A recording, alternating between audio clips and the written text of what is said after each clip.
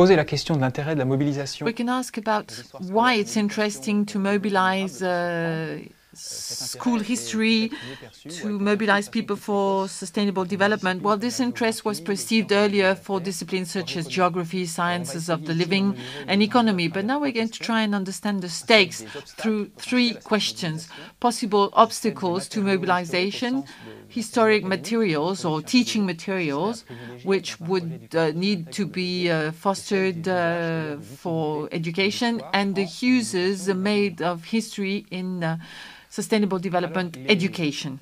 Why is history occupying an important uh, role? And there are two uh, reasons mainly the uh, function, intellectual, civic uh, function, and also the legacy, which is sometimes more difficult to, to deal with, the role played in the uh, construction of the nation's identity through what is usually called the uh, national story. The story imposed a number of standards which feeds representations of thoughts on how history must be taught in schools uh, for historians and in the public opinion uh, equally. Now, the danger is that there might be a conflict of scale between history centered on the nation's uh, building itself and uh, something that refers to the adventure of humankind on planet Earth. We don't want to replace a scale with the other. We must articulate them together, and it's not very easy. It's easier said than done recently there have been many articles in the news uh, testifying in that sense. Now, the second danger connected with the history used uh, for the sake of uh, sustainable development education would be the use of uh, history being instrumentalized uh, for teachers. Sustainable development, development not only is a uh, standardizing system and is one of the flags of uh, the uh, main environmental story, a story being told to legitimate society choices strong enough to legitimate choices being made by society. And yet we have learned to distrust this type of uh, long story in the field of history. The elements of the story are well identified. They describe a danger, the multifaceted environmental crisis, pollution, exhaustion of resources, erosion of biodiversity. And we have to think about whether humankind can survive on planet Earth. And there is a voluntaristic uh, aspect in the discussion. Everybody must be involved in order to collectively rescue the planet. Now, one concept that puts adds flesh on the story is the concept of Anthropocene invented by Paul Crutzen in the early 2000s, whereby uh, the influence of human activities would uh, take precedence in the biosphere over everything else. And the concept was then disseminated in other disciplines such as human sciences and history. Christian Bonneuil and Jean-Baptiste Fressoz, two historians, are trying to explain this in the book shown on the, on the slide, the consequences of uh, this new perspective in history and also the dangers it represents because it imposes a very specific representation system legitimating this re reaction adopted by societies towards crisis and uh, the fact that they alienate themselves of to uh, limit themselves to uh, political spheres. Now, the second question being asked uh, by way of introduction was, what about historical materials that have been used for an education project uh, integrating uh, sustainable development education? There are several ways for instance, uh, a story where the reference would no longer be the uh, nation building itself, but uh, the various uh, historiography uh, currents, such as the uh, global histories, because there are several families inside the current, or geohistory.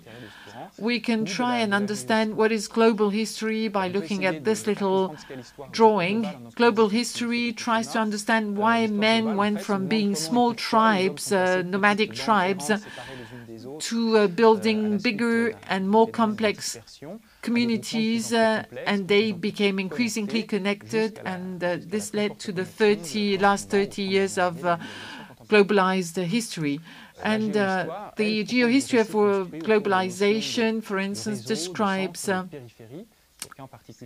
written by Christian Grataloup, tries to describe the hierarchy of centers in the old world systems and the importance of uh, American, uh, the American continent being captured for the three centuries between the 16th and the 19th century.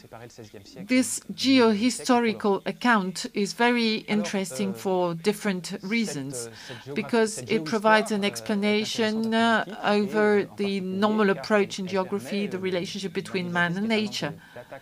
The second uh, pathway is that of environmental histories.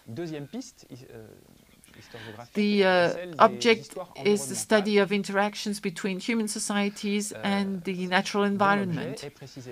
This is a new historiographical current which has a very a slightly different positioning in France because there have been pioneers who really uh, left a trace on the history of this uh, current. Uh, Emmanuel Le Roy Ladurie, for instance, and subsequently there was uh, development in Northern America taking place, and it had to do also with some militant movements. In, up to a certain extent, historians in France were reluctant to uh, involve themselves in this current. But the current was also supported by environmental archaeology, and over the last decade or so, things have changed. Books have been published. Uh, university networks such as the RUCHE have started working on the subject, and there was a synthesis published in France uh, last year, Grégory Quenet, and this is the book you see on the slide. Environmental history, uh, pollution, uh, risks and disasters, hydro history, the story of uh, rivers, uh, living, the world of the living and the climate. The climate is obviously the subject which, uh, starting in the years 2010, was the most successful subject with many different books, some of which were not written only by uh, historians. And this leads me to the third pathway, articulation uh, between historian accounts and natural sciences. Other disciplines such biology, ecology, geology have something in common with the historian disciplines of human sciences. They have been working on various periods and periodization.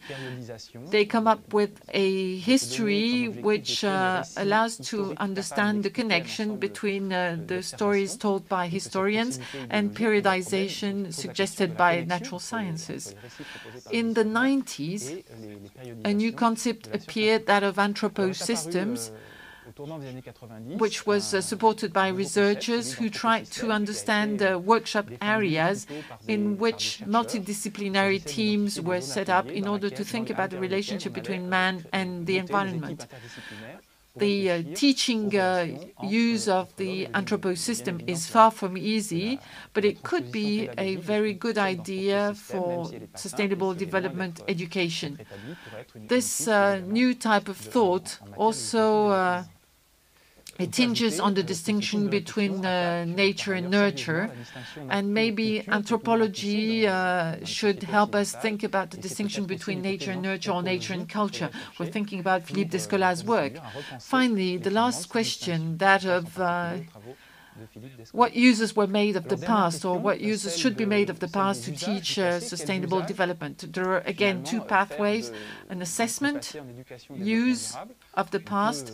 We must think that maybe in the past uh, we can find uh, a kind of or something that will help us make a turnkey choice in society, and also the fact that the past will help us think in terms of uh, sustainability.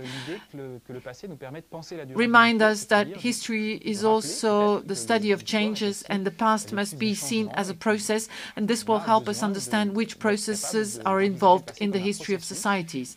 An initiation to complexity, really two ideas in order to exemplify those two pathways. The approach suggested by teachers in the uh, I4RME uh, network, uh, teaching about uh, major risks in the uh, Pyrenean mountains in France. They have tried to develop a book of uh, a handbook of major risks for school teachers and pupils. Working on the uh, risk culture in the time and in the uh, past dimension, suggesting uh, investigation activities for children and pupils. These uh, will then uh, go around uh, looking for resources and talk to local people and understand how things have been changed in order to adapt to natural dangers such as floods, for instance, and try and understand which dangers are uh, strongly associated with the, the environment they live in. The other pathway that could be integrated in teaching programs or curricula is based on a slightly different tradition uh, versus the uh, anchored tradition in history, a positivist uh, anchorage where milestones have been suggested for pupils.